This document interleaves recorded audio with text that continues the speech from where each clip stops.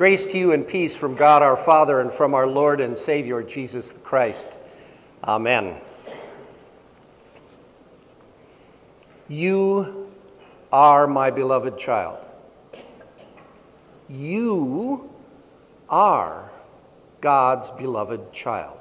Not you might be, not um, at some point in the future you're going to be. You are. You are God's child. And you are beloved. You are loved by God. You are loved. You are cherished. You are, um, you are accepted. And with you, God is well pleased. Notice, notice that, that that proclamation comes to Jesus before he's proclaimed, he made any miracles, before he's preached any sermons, before he's uh, taught any parables, before he has done any of his ministry that we have in the Gospels, except, of course, when he's 12 years old and, and gets lost. But Jesus has done nothing to make God pleased with him. God is simply pleased to call you and me God's children. Years ago, I was serving at uh, St. Matthew Lutheran Church in uh, uh, Dubuque, Iowa. And uh, Anna was about two and a half or three years old when I started there. Not quite three, two and seven, three quarters, two thirds. You know, when you're that young, you kind of, you know, measure every part. When you get to be our age, it's like, yeah, I want to forget. I'm only 57. Up until the 2nd of February, I'm going to be claiming I'm only 57. On the 3rd, I'll have to say 58, but that's okay. So I was up uh, preaching my sermon uh, in, in the pulpit at, at uh, St. Matthew, and all of a sudden I, I felt this presence, this presence with me in the pulpit. And I looked down, and there was Anna. It was in the middle of my sermon, and she had decided, this you know little two, two and a half year old, decided that she wanted to see what in the world Daddy was doing up there. And so she came up and somehow she got around because she because she had to go up the up into the altar area by, through a door, through another door, and then up into the pulpit. And so I'm standing there, and all of a sudden I look down, and she's there, and she looks up at me and she says, "Baba." That's the Chinese word for daddy. And then she does one of these. And she looks, at, this is the pulpit, okay? She gets up on her tiptoes and she looks out at everybody. And then I said, Now, Annie, you need to go back and sit down with Mama again. So she did. She went back. She was really, really good about it. But you know, that name, Baba, it brings a smile and it brings tears to my eyes because that is the most awesome name that anybody has ever called me in my life. It's, it's just it's just awesome. And I am well pleased with my daughter. I am so glad she is my daughter. Matter of fact, I, you know, I may have mentioned this before, but I've given her a nickname recently. I call her Awesome Daughter. That's, that's my nickname for her because I am so pleased that she is my daughter. Even, even when she does things that I don't particularly like, even when she's naughty, which I have to tell you is almost never. I seriously, seriously, almost never does she um, do anything to, to vex me. Although she is only 13, she's, you know, she's getting to that age. But I am pleased with her as my daughter. I wouldn't want any other child in this world to be my daughter. I've got the best daughter in the world. You see, that's the way God looks at us. God looks at us and is pleased that we are God's children. It's not about what we do. It's not about uh, whether we uh, earning God's favor or anything like that. God is pleased with, with who we are, exactly who we are, right here, right now. No conditions. And that happened on that day when we were baptized. When we came to the waters of baptism, for Jesus, it was in the Jordan River. For Bo and Sarah, it was uh, in Clear Lake. For me, it was in a little church in Rush City, Minnesota. And for you, one day, they put the waters on you. They put the water of God on you and said, You are God's child. You belong to God. And see, that's a big deal. Belonging is a huge deal. You are my child, says God. You are my child, my beloved. With you I am well pleased. A few years ago, uh, there was a psychologist, uh, a psychiatrist, you know, professor, researcher, who, who described the importance of belonging. He described what, what are the things that motivate us as people. And if you can, you can see, hopefully you can see this, eh, it could be a little bit bigger, but down on the bottom, the, the physiological needs. We need food, water, shelter. Right? Those are the things. If, if we have nothing else, the first things we're going to make sure we have is food, water, and shelter. Those things that protect our body. Nothing else matters if, if you're hungry. Nothing else matters if you are dying of thirst. Nothing else matters if you are out in a blizzard and, and you, are, you are starting to go through hypothermia. Those are the absolute fundamental needs that motivate us. We will do whatever we can to fulfill those needs. But once those needs are met, then we have needs of safety, safety and security.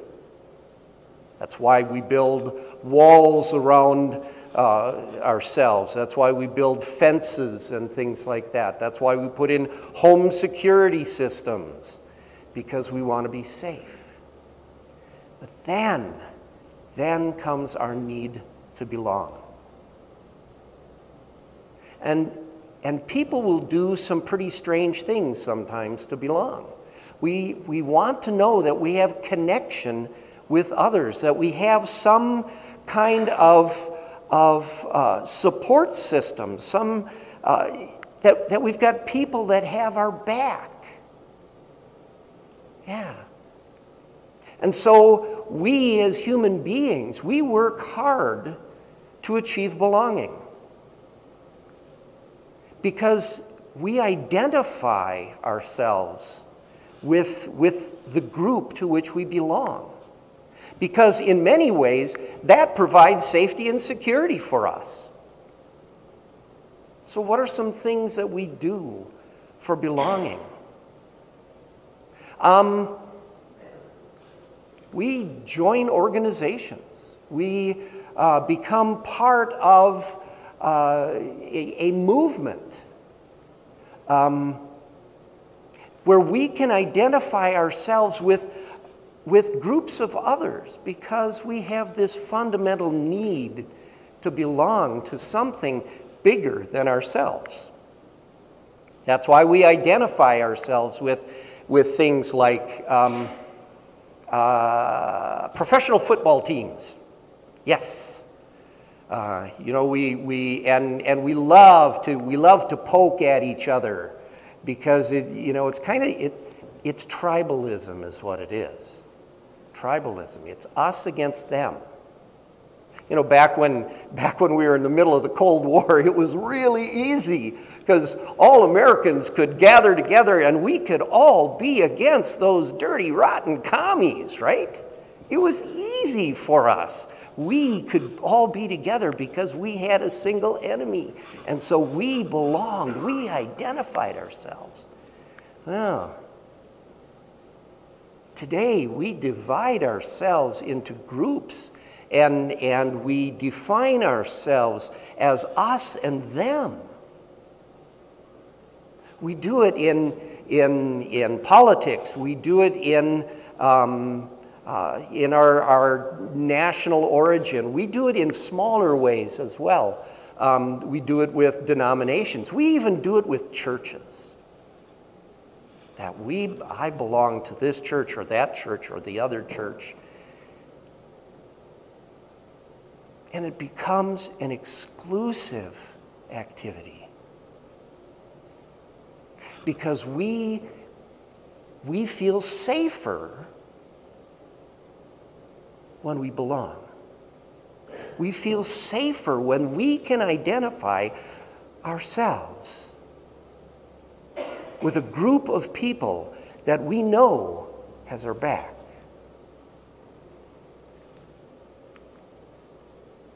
The waters of baptism, God gives us an identity. God gives us a sense of belonging. God calls each and every one of us, You are my child. You are my child. So, the other night, we were out for supper with the Galilean guys, and I'm a Vikings fan, and I had to sit next to Dan Kapinski with his Packers hat on. Go, Pack, go. Go, Pack, go, yes. But you know, that didn't matter because we're brothers in Christ. That is the most important identity that we have because we've both been baptized in this water and we have both been claimed by God as God's child, and God is pleased with both of us. Hmm. You are my child. You are my beloved. With you I am well pleased. And there are different ways that we, that we identify um, whether or not we belong. One of those ways is when we come to worship on Sunday morning, is the pastor wearing his robe or not? I did that on purpose this morning in case you're wondering. You know, for those of us who that is our tradition, that is our understanding of church, when we walk in and we see the pastor in, in his or her robes and they're wearing the right colored stole, it, we sit back and we just, it makes us feel like we're in a place that we belong. Yeah. If, if you're uh, 16 years old and you walk into a room and everybody there is 60 years old and over, you feel scared because you don't belong. And if you're an old person and you walk into a room with a bunch of kids, you really feel scared because you know you don't belong. The day I went to uh, uh, an African Methodist Episcopal church, and I was the only person of this skin color in the whole room. And of course, the fun thing about that is if you walk in and they find out you're a pastor, you don't sit in the back. I was hoping I could sit in the back and become, be inconspicuous. Yeah, right. Inconspicuous. Um, no, if you're a pastor, they bring up an extra chair and they sit you up front. yeah. But you know what? I didn't feel like I didn't belong because they were my brothers and sisters in Christ and we were worshiping God. And I enjoyed it. I, was a little bit uncomfortable, a little bit scared, Especially when the pastor, after he got done with his sermon, looked at me and says, Pastors, Pastor McCluskey, would you like to share a word with us today? no way, not me. But I belonged there because I was their brother in Christ, because for everybody in that room, God said those same words You are my child, my beloved, with you I am well pleased, to all of us. Yeah. The problem is the world tells us we don't belong. The world tells us we are not accepted. The world tells us we have to do something or be something or look a certain way in order to be accepted. Belonging. Do you, do you, do you believe me that belonging is important? That being accepted and being. If you don't, the fashion and beauty industry makes over 16 billion dollars a year because we want to look like others, we want to dress like others, we want to be accepted. And we're afraid that we won't be accepted if we don't, if we're not beautiful. Of course, that's the biggest lie of all. Putting on a mask does not make you beautiful.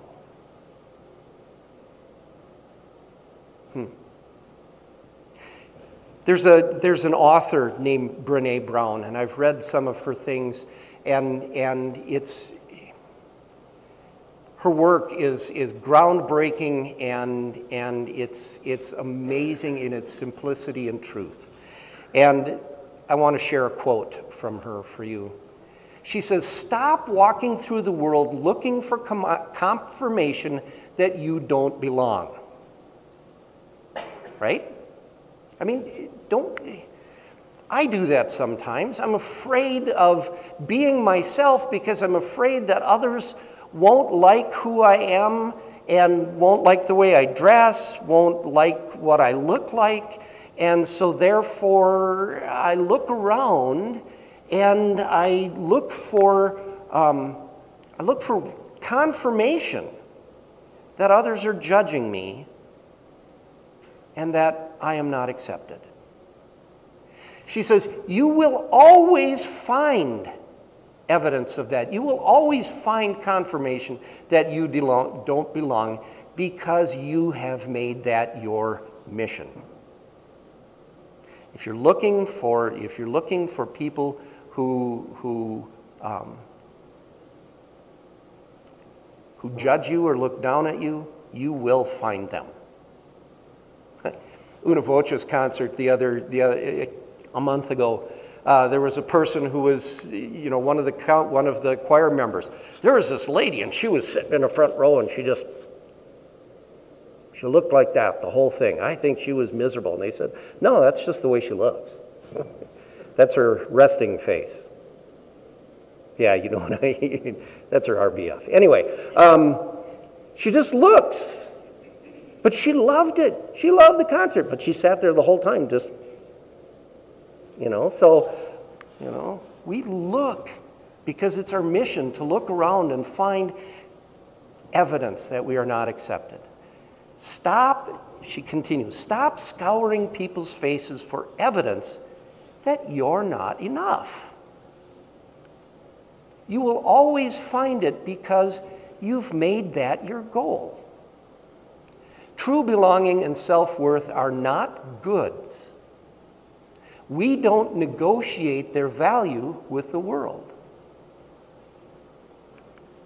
The truth about who we are lives in our hearts. Our call to courage is to protect our wild heart against constant evaluation, especially our own. No one belongs here more than you. because you are God's child. God has claimed you in the waters. God has called you beloved, and God has proclaimed, With you I am well pleased. Amen.